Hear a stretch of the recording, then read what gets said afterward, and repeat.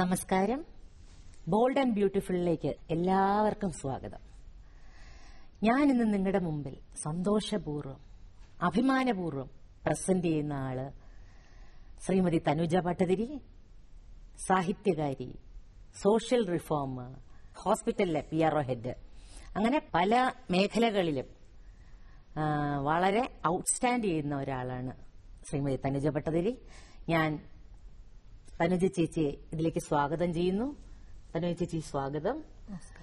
സാഹിത്യത്തിൽ ആരാണ് ഏറ്റവും കൂടുതൽ സ്വാധീനിച്ചിട്ടുള്ളത്? കാഴ്ചപ്പാടിലും സാഹിത്യത്തിലുള്ള കാഴ്ചപ്പാടിലും ആരാണ് ഏറ്റവും കൂടുതൽ സ്വാധീനിച്ചിട്ടുള്ളത്? അങ്ങനെ എനിക്ക് തോന്നുന്നു ഒരു വ്യക്തി എന്ന് പറയാൻ ബുദ്ധിമുട്ടായിരിക്കും. നമ്മൾ ജനിച്ച് വളരുന്ന കാലഘട്ടത്തിൽ നമ്മൾ പലതരം വായന വായനയിൽ കൂടി പലതരം എഴുത്തുകാരെ കണ്ടുമുട്ടുന്നുണ്ട്.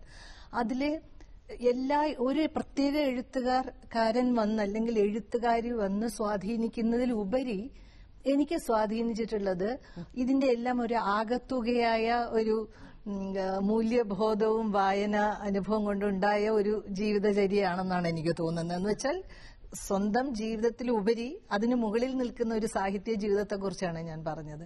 അപ്പോൾ അതുകൊണ്ട് തന്നെ എനിക്ക് തോന്നുന്നു വേണമെങ്കിൽ ഒരുപക്ഷെ വായനക്കാർ വിചാരിക്കാവുന്ന എഴുത്തുകാരനോ എഴുത്തുകാരിയോ ഞാൻ പറയും എന്ന് വിചാരിക്കുന്നത് ഒരുപക്ഷെ മറ്റുള്ളവരിൽ ഉണ്ടാവാം. പക്ഷെ എന്റെ യഥാർത്ഥമായ മനസ്സ് കാണിക്കുകയാണെങ്കിൽ ഒരു വ്യക്തി എന്നുള്ളതിലുപരി ഒരു എഴുത്തുകാരനോ എഴുത്തുകാരിയോ എന്നുള്ളതിലുപരി തീർച്ചയായും പലരുടെ വ്യക്തിത്വമാണ് എന്നെ സ്വാധീനിച്ചിരിക്കുന്നത്. അത് എനിക്ക് തോന്നുന്നു ഒരുപക്ഷെ മലയാള സാഹിത്യം മാത്രമല്ല മറ്റ് സാഹിത്യ മേഖലകളിലും കൂടി കടന്നുപോയിട്ടുണ്ട് അങ്ങനെ വായിക്കാൻ ഒരു ഭാഗ്യമുണ്ടായി. ഒരുപാട് വായിക്കാൻ ഒരു ഭാഗ്യം എനിക്ക് കുട്ടിക്കാലത്ത് ഉണ്ടായി. ഒരുപക്ഷെ അതൊന്നും ഞാൻ ആ കാലത്ത് എനിക്ക് പിന്നീട് ജീവിതത്തിൽ ഉണ്ടായേക്കാവുന്ന ഒരു അറിവിനെ കുറിച്ച് ഒന്നും ഓർമ്മ വെച്ചുകൊണ്ടായിരുന്നില്ല. അറിയാതെ കുറെ കാലം അങ്ങനെ കടന്നുപോയിട്ടുണ്ട് അത് പിന്നീടാണ് ഞാൻ തന്നെ ഒരുപാട് നാളുകൾക്ക് ശേഷമാണ് അതൊക്കെ തിരിച്ചറിയുന്നത് തന്നെ. പക്ഷെ അതെവിടെയോ ഉണ്ടായിരുന്നു ജീവിതത്തിൽ എന്റെ ഓർമ്മയുടെ. എവിടെയോ പണ്ട് വായിച്ച ഒരുപക്ഷെ ആരും അധികം അറിയാത്ത ആൾക്കാരുടെ പോലും ചില വാക്കുകളും ചില വാചകങ്ങളും ഒക്കെ എന്റെ മനസ്സിന്റെ അടിയിൽ ഉണ്ടായിരുന്നു എന്ന് പിന്നീട് എനിക്ക് മനസ്സിലായിട്ടുണ്ട്. ലളിതാംബിക അന്തർജനം സെന്റർ എന്ന് പറഞ്ഞ ഒരു പ്രസ്ഥാനം രണ്ടായിരത്തി പതിനാറിൽ തുടങ്ങിയിട്ടുണ്ടല്ലോ. അതെ അതെ. എന്തിനു വേണ്ടി ആണ് ശരിക്കും പറഞ്ഞ അത് തുടങ്ങിയത്? കുറച്ചു പേർക്കെങ്കിലും അറിയാമായിരിക്കും. ലളിതാംബിക അന്തർജനം ത്തിന്റെ മകളുടെ മകളാണ് ഞാൻ. മുത്തശ്ശി. മുത്തശ്ശി. അപ്പോൾ തീർച്ചയായിട്ടും നേരത്തെ ചോദിച്ച ചോദ്യത്തിന് ഒരു ഉത്തരം ഇവിടെയുണ്ട് എന്നെ സ്വാധീനിച്ച ആളെന്ന്. മുത്തശ്ശി ജീവിച്ചിരുന്നപ്പോൾ മുത്തശ്ശിയുമായിട്ട് ഞാൻ സാഹിത്യ സംവാദങ്ങളൊന്നും നടത്തിയിട്ടില്ല. ഒരു പക്ഷേ എനിക്ക് തോന്നുന്നു എന്റെ കസിൻസിൽ സാഹിത്യ സംവാദങ്ങളൊന്നും നടത്തിയിട്ടില്ലാത്ത ഒരു പക്ഷേ ഞാനായിരിക്കും. ഞാൻ ഒരുപാട് ഇപ്പൊ നേരത്തെ പറഞ്ഞ പോലെ തന്നെ വായിക്കുകയൊക്കെ ചെയ്യുമായിരുന്നെങ്കിലും ഒരിക്കലും ഞാൻ വായിക്ക വായിച്ചതിനെ കുറിച്ചോ ഒന്നും എന്റെ വീട്ടിലും എഴുത്തുകാരും അച്ഛനും അമ്മയും എഴുതുമായിരുന്നു. എൻ മോഹനൻ അമ്മാവൻ വലിയ എഴുത്തുകാരനാണ്. പക്ഷെ ഇവരുമായിട്ടൊന്നും ഞാൻ ഒരു ഒരുതരം സാഹിത്യ കാര്യങ്ങളും ഞാൻ സമ്മതിച്ചിട്ടില്ല പക്ഷെ ഇവർ പറയുന്നതൊക്കെ ശ്രദ്ധിക്കുമായിരുന്നു. ഇവർ കൊണ്ടുവയ്ക്കുന്ന പുസ്തകങ്ങൾ പോലും വായിക്കുമായിരുന്നു. അതുപോലെ മുത്തശ്ശിയുമായിട്ടും ഇത്തരം സംവാദങ്ങളൊന്നും നടന്നിട്ടില്ല. ഞാൻ മുത്തശ്ശിയെ മനസ്സിലാക്കുന്നത് ഒരു ഒരു കൊച്ചുകുട്ടി എന്നുള്ള പേരക്കുട്ടി എന്നുള്ള നിലയ്ക്കാണ് അതിനു മുമ്പ് മനസ്സിലാക്കിയതെങ്കിൽ ഞാൻ മുത്തശ്ശിയെ മനസ്സിലാക്കുന്നത് മുത്തശ്ശിയുടെ മരണത്തിന് ശേഷമാണ്. അതായത് എന്റെ ഇരുപത്തിമൂന്ന് വയസ്സിലാണ്. ആയിരത്തി തൊള്ളായിരത്തി എൺപത്തിയേഴിലാണ് മുത്തശ്ശി മരിക്കുന്നത്. അതിനുശേഷമാണ് ഞാൻ മുത്തശ്ശിയെ ശരിക്കും ഒരു എഴുത്തുകാരി എന്നുള്ള നിലയ്ക്ക് ഒരു സ്ത്രീ എന്നുള്ള നിലയ്ക്ക് ഞാനൊരു സ്ത്രീ എന്നുള്ള നിലയ്ക്ക് മുത്തശ്ശി ഒരു സ്ത്രീ എന്നുള്ള നിലയ്ക്കൊക്കെ ഞാൻ മനസ്സിലാക്കുന്നത് മുത്തശ്ശിയുടെ മരണത്തിന് ശേഷമാണ്. അപ്പോൾ ഞാൻ നിരന്തരം അതിനുശേഷം മുത്തശ്ശിയോട് സംസാരിക്കുന്ന സാഹിത്യ സംഭാഷണങ്ങൾ നടത്തിയിരിക്കുന്നത് മുഴുവൻ മുത്തശ്ശിയുടെ മരണത്തിന് ശേഷമാണ്. മുത്തശ്ശിയുടെ സകല കൃതികളും വായിച്ചു. ഒരുപാട് പത്ത് മുന്നൂറോളം കഥകൾ എഴുതിയിരിക്കുന്നത് വായിച്ചു. ഒരു പത്തിരുന്നൂറോളമുള്ള കവിതകൾ വായിച്ചു. ഒരുപാട് ലേഖനങ്ങൾ വായിച്ചു. പ്രസിദ്ധീകരിച്ചതുമുണ്ട്. അല്ലാതെയുള്ളതും എനിക്ക് പിന്നീട് അമ്മാവന്മാരുടെ കയ്യിൽ നിന്നും കിട്ടിയിട്ടുണ്ട്. അതെല്ലാം ഞാൻ വായിച്ചു. ഒരുപാട് കത്തുകൾ വന്നത് വായിച്ചു. അങ്ങനെ എനിക്ക് തോന്നുന്നു പിന്നീടുള്ള കാലം ആദ്യത്തെ ഒരു കഥ ഞാൻ പ്രസിദ്ധീകരിക്കുന്നത് എന്റെ ഇരുപത്തിനാലാമത്തെ വയസ്സിലാണ്. അതൊക്കെ ഒരു എനിക്ക് പിന്നീട് എനിക്കൊരു അനുഗ്രഹമായിട്ട് കിട്ടിയ ഒരു കാര്യം പോലെ തന്നെയാണ് എനിക്ക് തോന്നുന്നത്. മുത്തശ്ശി മരിച്ച് മൂന്നാമത്തെ മാസമാണ് എന്റെ ആദ്യത്തെ കഥ പ്രസിദ്ധീകരിക്കുന്നത്. എൺപത്തിയേഴിൽ മുത്തശ്ശി മരിച്ചു ഫെബ്രുവരിയിൽ മരിച്ചെങ്കിൽ എന്റെ അതേ വർഷം എൺപത്തിയേഴ് മൂന്ന് മാസം കഴിഞ്ഞിട്ട് ആണ് എന്റെ ഒരു കഥ പ്രസിദ്ധീകരിച്ച് വരുന്നത്. അത് എന്റെ ഇന്ദൂട്ടി എന്ന് പറഞ്ഞ ഒരു കഥയാണ് ആദ്യം വന്നത് ആ കഥ. അത് ഞാൻ എഴുതി അയച്ചതുപോലും അല്ല എന്റെ ഭർത്താവാണ് എഴുതി ആ കഥ എടുത്ത് അയച്ചു കൊടുത്തത്. ഞാൻ എഴുതി വെച്ച് ഞാൻ കല്യാണം കഴിഞ്ഞ് പോയപ്പോൾ കുറച്ച് കഥകൾ കൊണ്ടുപോയിരുന്നു എന്റെ കയ്യിൽ. ഞാൻ എഴുതിയത്. അത് എനിക്ക് അറിയില്ലായിരുന്നു അതുവരെ സത്യം പറഞ്ഞാൽ. അതാണ് എനിക്കൊരു അതിശയം. പക്ഷെ എന്റെ ഹസ്ബൻഡാണ് അത് ആദ്യമായിട്ട് ഒരു കഥ വായിച്ചിട്ട് ഇത് തരക്കേടില്ലാത്ത കഥയാണ് എന്ന് പറഞ്ഞ് അയച്ചു കൊടുത്തത് ഞാൻ അറിയുന്നത് പ്രസിദ്ധീകരിച്ച് വന്നതിന് ശേഷമാണ്. അതെനിക്ക് വലിയ അത്ഭുതമായിരുന്നു. അത് വന്നില്ലായിരുന്നെങ്കിൽ ജീവിതത്തിൽ ഒരിക്കലും ഞാൻ ഒരുപക്ഷെ കഥകൾ പ്രസിദ്ധീകരിക്കാനൊന്നും അയച്ചു കൊടുക്കില്ലായിരുന്നു. അപ്പൊ രണ്ടായിരത്തി പതിനാറിൽ ഇപ്പൊ ഞാൻ പറഞ്ഞതുപോലെ മുത്തശ്ശിയുമായിട്ട് ഇതൊക്കെ ഉണ്ടായി കൂടുതൽ പഠിച്ചു കഴിഞ്ഞപ്പോൾ കൂടുതൽ മനസ്സിലാക്കി കഴിഞ്ഞപ്പോൾ അന്തർജനത്തിന് കൂടുതൽ മനസ്സിലാക്കി കഴിഞ്ഞപ്പോൾ മുത്തശ്ശിയുടെ പേരിൽ എന്നെക്കൊണ്ട് എന്നെ കൊണ്ട് പറ്റുന്നത് എന്തെങ്കിലും ചെയ്യണമെന്ന് തോന്നി. അപ്പൊ മുത്തശ്ശിയുടെ രാഷ്ട്രീയം ഞാൻ നോക്കിയപ്പോൾ ശരിക്കും പറഞ്ഞാൽ ആദ്യകാല എഴുത്തുകാരി എഴുത്തുകാരി എന്നൊരു മുഴുവൻ പട്ടം അങ്ങനെ ഒരു പോസ്റ്റ് എടുക്കുന്നത് ആദ്യമായിട്ട് മലയാളത്തിൽ ലളിതാംബിക അന്തർജനമാണെന്ന് ഞാൻ മനസ്സിലാക്കുകയായിരുന്നു. തന്റെ പന്ത്രണ്ടാമത്തെ വയസ്സിൽ പതിമൂന്നാമത്തെ വയസ്സിൽ ആദ്യമായി പ്രസിദ്ധീകരിച്ച അഭിനവ പാർത്ഥസാരഥി എന്നുള്ള ഒരു കുറിപ്പിൽ തുടങ്ങിയ തന്റെ സാഹിത്യ ജീവിതം മരണത്തിന് തൊട്ടു മുമ്പ് വരെ ആയിരത്തി തൊള്ളായിരത്തി എൺപത്തി ഏഴിൽ മരിക്കുന്നതിന് തൊട്ടു മുമ്പ് വരെ എഴുതിക്കൊണ്ടിരിക്കുകയും മറ്റ് സർഗ സംവാദങ്ങളിലെല്ലാം ഏർപ്പെടുകയും പ്രസംഗിക്കാൻ പോകുകയും മറ്റ് ഔദ്യോഗിക പദവിയിൽ അതായത് സാഹിത്യ അക്കാദമിയുടെയൊക്കെ വൈസ് പ്രസിഡന്റായിട്ടും പ്രസിഡന്റായിട്ടും കുറച്ചു നാളാണെങ്കിലും ഇരുന്നിട്ടുണ്ട്. അതുകൂടാണ്ട് പരിഷത്തിൽ ഇരുന്നിട്ടുണ്ട്. അങ്ങനെയുള്ള ഔദ്യോഗിക പദവിയെല്ലാം ഒരു എഴുത്തുകാരി എന്നുള്ള നിലയിൽ ഒരു പൊസിഷൻ യൂസ് ചെയ്യുന്നത് മുഴുവൻ ജീവിതം മുഴുവൻ നിലനിന്നിരുന്നത് ഒരുപാട് ബുദ്ധിമുട്ടുണ്ടെങ്കിലും അതാണ്. ഒരു എഴുത്തുകാരി എന്നുള്ള നിലയിൽ കുടുംബത്തിൽ നിന്നും സമൂഹത്തിൽ നിന്നും മറ്റു പലയിടത്തു നിന്നും പല പ്രശ്നങ്ങളുണ്ടെങ്കിലും അത് ഏറ്റവും അവസാന ശ്വാസം വരെ കൊണ്ടു നടന്ന ആളാണ് അന്തർജനം എന്നുള്ളത്. അതൊക്കെ എനിക്ക് കൂടുതൽ കൂടുതൽ ഉത്തേജനം തരികയുണ്ടായി. അപ്പോൾ എന്ത് ചെയ്യാൻ പറ്റും എന്നുള്ളതിലാണ് വളരെ ഭംഗിയായി പ്രവർത്തിക്കുന്ന ട്രസ്റ്റ് വേറെ ഉണ്ടെങ്കിലും എനിക്ക് സ്വന്തമായിട്ട് ചെയ്യാനുള്ള ചില സൗകര്യത്തിന് വേണ്ടിയിട്ടാണ് ഞാൻ ഈ ലളിതാംബിക അന്തർജനം സെന്റർ തുടങ്ങിയത്.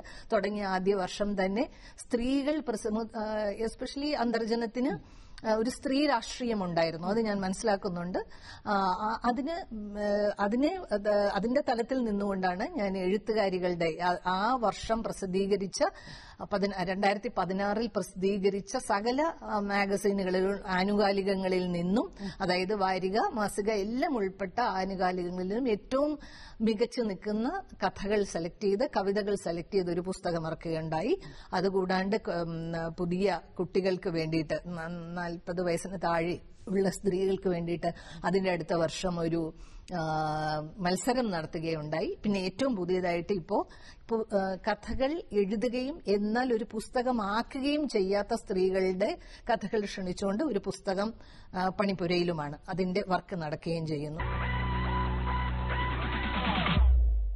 തനൂജ ചേച്ചിയുടെ ഭാഷയിൽ അല്ലെങ്കിൽ തനൂജ ചേച്ചിയുടെ കാഴ്ചപ്പാടിൽ ഒരു പൊളിറ്റിക്കൽ നിലപാട് നമ്മുടേതായിട്ടുള്ള പൊളിറ്റിക്കൽ കാഴ്ചപ്പാട് കാണുമല്ലോ. തനുജ ചേച്ചിയുടെ മനസ്സിൽ നിന്നും അതെങ്ങനെയാണ്? കുറച്ചു കാലങ്ങൾക്ക് മുമ്പ് വരെ തന്നെ. അല്ലെങ്കിൽ ഒരുപാട് കാലങ്ങളോളം ഞാൻ വിശ്വസിച്ചിരുന്നത് നമുക്ക് രാഷ്ട്രീയമുണ്ടെന്ന് പറയുന്നത് ഭയങ്കര മോശമാണെന്നുള്ള ഒരു വിചാരമായിരുന്നു.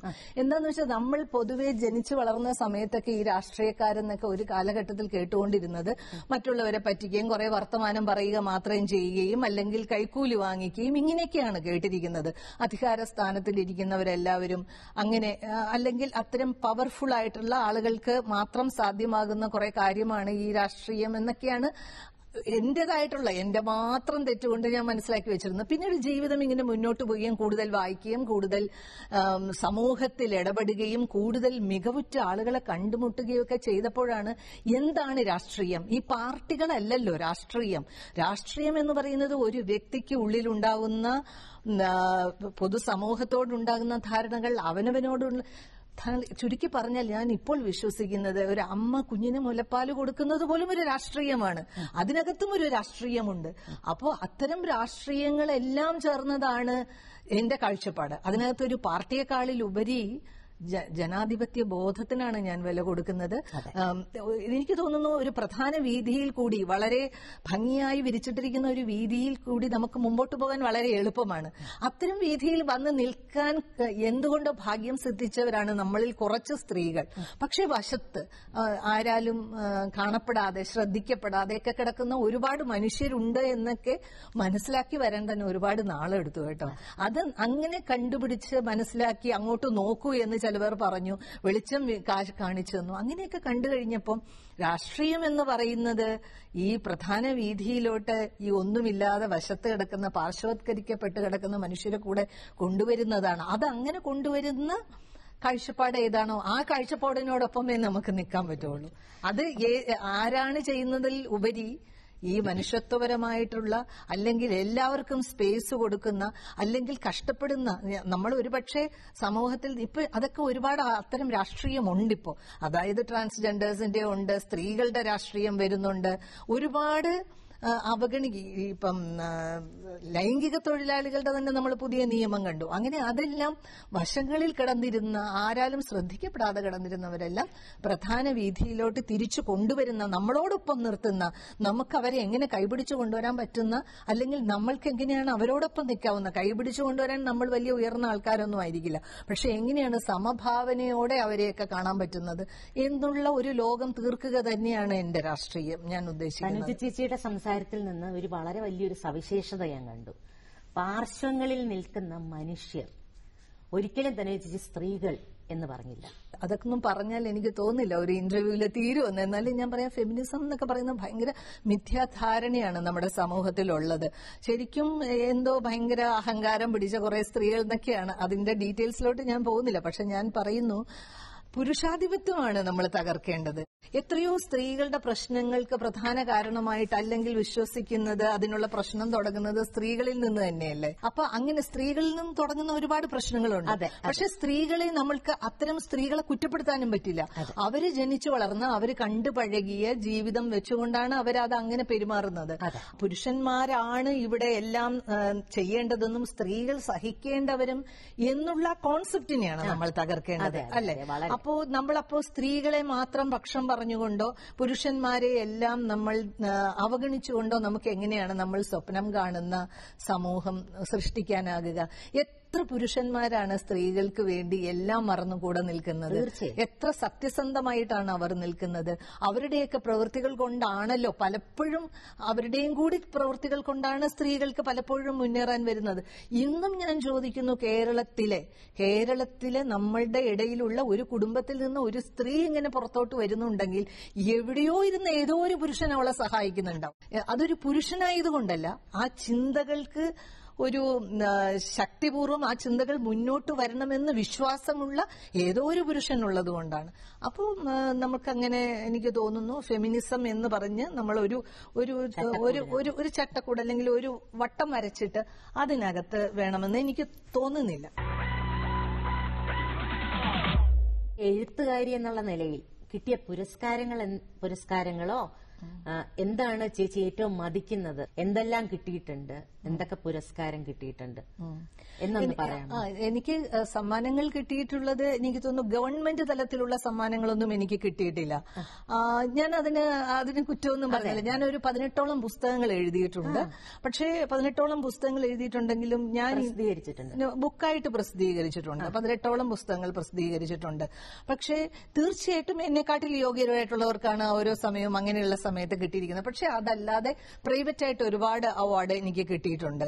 പക്ഷെ എനിക്ക് തോന്നുന്നു ഈ പ്രൈവറ്റ് ആയിട്ട് അവാർഡ് എല്ലാം കിട്ടി അത് ഇങ്ങനെ നമ്മൾ പറയുന്നതിനെക്കാട്ടിലുപരി അത് എന്റെ ബയോഡേറ്റയൊക്കെ എനിക്ക് തോന്നുന്നു മെയിൽ ചെയ്ത് കഴിഞ്ഞാൽ ഗൂഗിൾ ചെയ്താലും ഒക്കെ കിട്ടും. അല്ലെങ്കിൽ എന്റെ എല്ലാ പുസ്തകങ്ങളിലും അതുണ്ട്. പക്ഷെ അതിനെക്കാട്ടിലുപരി എനിക്ക് നേരത്തെ ചോദിച്ച ഒരു ചോദ്യത്തിനാണ് എനിക്ക് അതിനകത്ത് കൂടുതൽ ഉത്തരം പറയാൻ പോകുന്നത്. എന്താണ് മതിക്കുന്നത്? ശരിക്കും മതിക്കുന്ന ചില കാര്യങ്ങൾ എന്താണെന്ന് വെച്ചാൽ എവിടെ പോകുമ്പോഴും ആളുകളിൽ നിന്ന് കിട്ടുന്ന ഒരു സ്നേഹം. അത് എനിക്ക് ഏറ്റവും കൂടുതൽ മനസ്സിലാകുന്നത്. പുസ്തകങ്ങൾ വായിച്ച് കുറേ പേർ നേരത്തെ തന്നെ നമ്മളോട് സമ്മതിച്ചുകൊണ്ടിരുന്നെങ്കിലും ഈ ഫേസ്ബുക്കിൽ എഴുതാൻ തുടങ്ങിയതിനു ശേഷം ഒരുപാട് അന്നന്ന് അപ്പോഴപ്പോഴുള്ള റിയാക്ഷൻസ് കിട്ടുന്നുണ്ട്.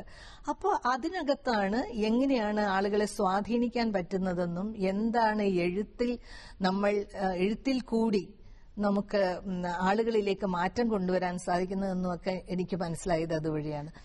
ചേച്ചി അതിനകത്ത് വളരെ ശക്തമായ ആ, ആനുകാലിക പ്രശ്നങ്ങളെ കുറിച്ച് എഴുതാറുണ്ട്. ഹസ്ബൻഡിന് എതിർപ്പൊന്നുമില്ലേ? ഈ ആനുകാലിക പ്രശ്നങ്ങളെ കുറിച്ച് എഴുതുന്നത് ഇല്ല ഇല്ല ഇല്ല. മക്കൾക്കോ? ഇല്ല ഇല്ല. ഈഗോ ഞങ്ങൾക്ക് രണ്ടുപേർക്കും അതിശക്തമായിട്ടുണ്ട്. അതിശക്തമായി ഞങ്ങൾ അദ്ദേഹവും നന്നായിട്ട് എഴുതും. അദ്ദേഹം പുസ്തകങ്ങൾ പ്രസിദ്ധീകരിച്ചിട്ടുണ്ട്. അപ്പം ഒരു സ്ത്രീ എന്നുള്ള നിലയ്ക്കും ഒരു പുരുഷൻ എന്നുള്ള നിലയ്ക്കും ഉണ്ടാകാൻ സാധ്യതയുള്ള എല്ലാ പ്രശ്നങ്ങളും ഞങ്ങൾ തമ്മിൽ ഉണ്ടായിട്ടുണ്ട്. പക്ഷെ അതിൽ അതിൽ നിന്നുകൊണ്ട് തന്നെ കുടുംബം അതിന്റെതായിട്ടുള്ള എല്ലാ സ്ട്രെങ്തും എനിക്ക് തന്നിട്ടുണ്ട്. ഇല്ല എന്ന് പറഞ്ഞാൽ ഞാൻ കള്ളം പറയുന്നതാണ്. എനിക്ക് ആ എല്ലാ സ്ട്രെങ്തും എന്റെ കുടുംബം തന്നിട്ടുണ്ട്. അപ്പൊ എന്റെ എന്റെ ഭർത്താവ് ഈ പറഞ്ഞതുപോലെ വളരെ എന്നെക്കാൾ എത്ര എത്രയോ പുരോഗമനപരമായി ചിന്തിക്കുന്ന ആളാണ്. അതാണ് എനിക്ക് ഒരു സ്ട്രെങ്ത് തന്നത്. എന്ന് വെച്ചാൽ എന്റെ മക്കളുടെ കാര്യത്തിലാണെങ്കിലും രണ്ടായിരത്തി പത്തിൽ എന്റെ മൂത്ത മോളുടെ വിവാഹം ആദ്യം കഴിഞ്ഞതാണ്. പക്ഷേ ചില പ്രശ്നങ്ങൾ കാരണം അവൾക്ക് അതിനകത്ത് തുടരാൻ വളരെ ബുദ്ധിമുട്ട് വന്നു. നിനക്ക് അത് ബുദ്ധിമുട്ടാണെങ്കിൽ ഇറങ്ങിക്കോന്നൊരു കോൺഫിഡൻസ് ഞാനും ഹസ്ബൻഡും കൊടുക്കുകയുണ്ടായി. അത് മാത്രമേ ഞങ്ങൾ കൊടുത്തുള്ളൂ. പക്ഷെ ജീവിതത്തിൽ ഒരിക്കലും ഒരു സുഖമില്ലാതെയുള്ള ഒരു ജീവിതം വേണ്ട എന്ന് പറഞ്ഞത് ഞങ്ങൾ തന്നെയാണ്. അതിന് എനിക്ക് വേണ്ട എന്ന് അവളോട് പറയാൻ ധൈര്യം വന്നത് അദ്ദേഹം അത്രയും കോൺഫിഡൻസ് എനിക്ക് തന്നതും കൊണ്ടാണ്. ഒരു അച്ഛൻ എന്നുള്ള നിലയ്ക്ക് ഒരു കോൺഫിഡൻസ് വളരെ നല്ല ഒരു അച്ഛനാണ്. അത് അത് ഞാൻ പറയാം. അപ്പോ അങ്ങനെ അത് കഴിഞ്ഞിട്ട് പിന്നീട് അവൾ പിന്നെ എനിക്ക് രണ്ട് പെൺമക്കളാണ്. അത് കഴിഞ്ഞിട്ട് പിന്നെ നടന്നത് എന്റെ ഇളയ മകളുടെ വിവാഹമാണ്. അത് ഒരു ക്രിസ്ത്യൻ കുട്ടിയാണ് കല്യാണം കഴിച്ചത്. അവൾ കുറച്ച് നാളായിട്ട് പരിചയമുണ്ട്. അത് മതി എന്ന് പറഞ്ഞു. അത് ഞങ്ങൾ അവർ പറഞ്ഞപ്പോഴാണ് ഞങ്ങളത് ലീഗലി നടത്തിക്കൊടുത്തത്. അത് അവളുടെ വിവാഹം ഒരുപക്ഷെ എന്റെ കൂട്ടുകാർക്ക് അറിയാം എഫ് ബിയിൽ എന്റെ കൂടെ ഉള്ളവർക്കും അറിയാം. വിവാഹം എന്നൊരു ചടങ്ങേ ഉണ്ടായിരുന്നില്ല. ജസ്റ്റ് രജിസ്റ്റർ മാരേജ് ആയിരുന്നു. ഒരു വലിയ വിവാഹം അവൾക്ക് താല്പര്യം ഇല്ല എന്ന് പറഞ്ഞു. അത് നേരെ രജിസ്റ്റർ ഓഫീസിൽ പോയി രജിസ്റ്റർ ചെയ്തു. പിന്നെ മൂത്ത മകളുടെ രണ്ടാമത്തെ വിവാഹം എന്ന് പറയുന്നതും ഒരു മുസ്ലിം കുട്ടിയാണ് കല്യാണം കഴിച്ചിരിക്കുന്നത്. അത് പക്ഷെ ഞങ്ങൾ ആദ്യം എല്ലാവരെയും ഒന്നും അറിയിക്കാൻ പോയില്ല. എന്താന്ന് വെച്ചാൽ പിന്നീട് ഒരു ചർച്ചകൾ നടത്തി അതൊരു ബുദ്ധിമുട്ടിലോട്ടൊന്നും പോകണ്ടെന്ന് വിചാരിച്ചു. കല്യാണം കഴിഞ്ഞതിന് ശേഷം എല്ലാവരെയും വിവരം അറിയിച്ചു. ഹോസ്പിറ്റൽ എറണാകുളത്തെ പബ്ലിക് റിലേഷൻസ് ഹെഡാണ്. അപ്പൊ അവിടുത്തെ അന്തരീക്ഷമൊക്കെ എങ്ങനെയാണ്? ശരിക്കും പറഞ്ഞാൽ ഹോസ്പിറ്റലാകുമ്പം ദുഃഖം. ആങ്ഷ്യസ്നെസ് ആങ്സൈറ്റി അങ്ങനെ പല ബുദ്ധിമുട്ടുണ്ടാകുന്ന അതെ രോഗ എപ്പോഴും രോഗാവസ്ഥകൾ കാണുന്നതാണല്ലോ. കാണുന്നുണ്ട്. അപ്പൊ തനുജ ചേച്ചിക്ക് അവിടെ ഇരുന്നിട്ട് പിന്നെ ഈ ക്രിയേറ്റീവ് തിങ്കിങ് എങ്ങനെ പറ്റുന്നു? രണ്ടും രണ്ട് ഓപ്പോസിറ്റ് സൈഡ്സിൽ നിൽക്കുന്നതാണ്. പക്ഷെ ഏറ്റവും കൂടുതൽ മറ്റൊരു ലോകമാണ്. ആശുപത്രി എന്ന് പറയുന്നത് വേറൊരു ലോകമാണ്. പക്ഷെ യഥാർത്ഥത്തിൽ മനുഷ്യരെ മനസ്സിലാക്കാൻ മനുഷ്യരുടെ മനസ്സ് മനസ്സിലാക്കാൻ മനുഷ്യരുടെ വികാരങ്ങൾ മനസ്സിലാക്കാൻ വിചാരങ്ങൾ മനസ്സിലാക്കാൻ ഏറ്റവും പറ്റിയ സ്ഥലമാണ് ആശുപത്രി. എന്താണെന്ന് വെച്ചാൽ ഒരു മനുഷ്യൻ സാധാരണ ജീവിതത്തിൽ പെരുമാറുന്നത് പോലെയേ അല്ല. അവർക്കോ അവർക്ക് വേണ്ടപ്പെട്ടവർക്കോ വലിയ അസുഖം വരുമ്പോഴോ അല്ലെങ്കിൽ അപകടങ്ങൾ പറ്റുമ്പോഴോ ഒക്കെ അവർ പെരുമാറുന്നത്. അപ്പൊ എങ്ങനെയെല്ലാം ഏതെല്ലാം എക്സ്ട്രീംസിൽ മനുഷ്യർക്ക് പോകാം എന്ന് പഠിപ്പിച്ചു തരുന്ന സ്ഥലമാണ്. പിന്നെ അതുകൂടാണ്ട് തന്നെ അന്യര് തന്നെ എത്ര എത്ര ഒറ്റ എത്ര അടുത്ത ബന്ധുക്കളാകുന്നു അവിടെ. അവിടെ ജാതിയില്ല മതമില്ല ഒന്നുമില്ല.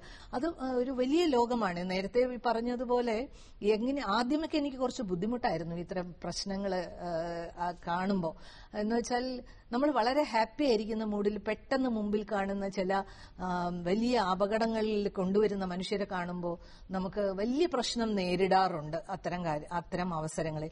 പക്ഷേ എങ്ങനെയാണ് അവിടുത്തെ അനുഭവങ്ങളും മറ്റൊരു പ്രപഞ്ചമാണ് ആശുപത്രിക്കകം ആ മനുഷ്യരെ എല്ലാം എങ്ങനെയാണ് നമ്മളിൽ നമ്മളിൽ ഉൾക്കൊണ്ട് അത് നമ്മുടെ ശക്തിയായി മാറ്റുന്നത് എന്ന് വിചാരിച്ച് ചെയ്യുമ്പോൾ കുറേയേറെ ദർശനങ്ങൾ നമുക്കതിൽ കൊണ്ടുതരും.